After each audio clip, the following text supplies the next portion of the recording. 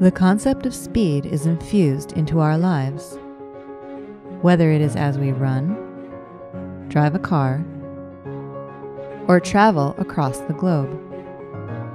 Of course, the athletes in the Olympic Games are often the fastest in the world. This is apparent in many of the Olympic sports, from track and field to cycling to downhill skiing and speed skating.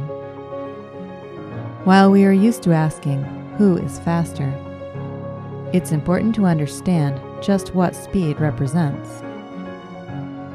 Speed is defined as a distance traveled over a certain period of time. In science, we would write this as the equation speed equals distance divided by time. We've become rather used to this equation, even if we don't realize it. Using this equation, for example, cars provide speed in miles or kilometers per hour.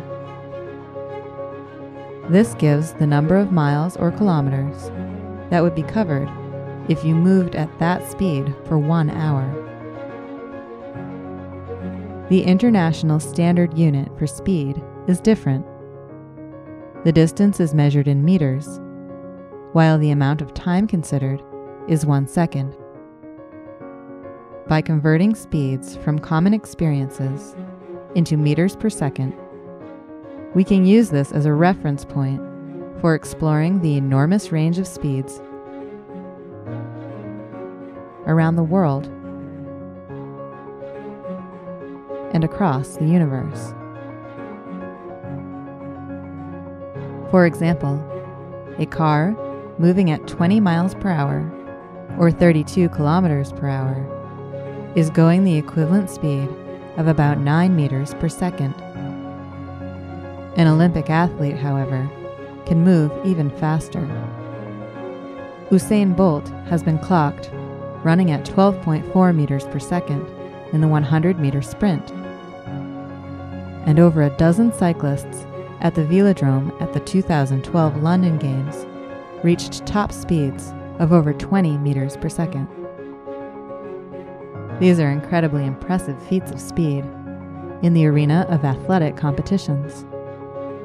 They also make the speeds found elsewhere even more amazing. For example, the speed of sound in the Earth's atmosphere is about 340 meters per second. Meanwhile, the International Space Station orbits the Earth at about 7,600 meters per second, and the Earth travels around the Sun at some 30,000 meters per second. Those blistering paces pale in comparison, however, to the universe's real speedsters.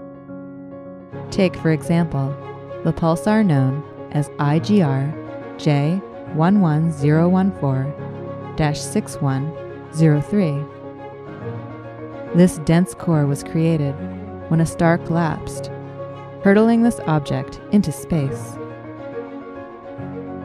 Astronomers have calculated that this stellar nub is blazing away from its birthplace at a whopping 1 to 2 million meters per second. Now that's a speed that anyone, Olympic athlete or otherwise, might have to marvel at.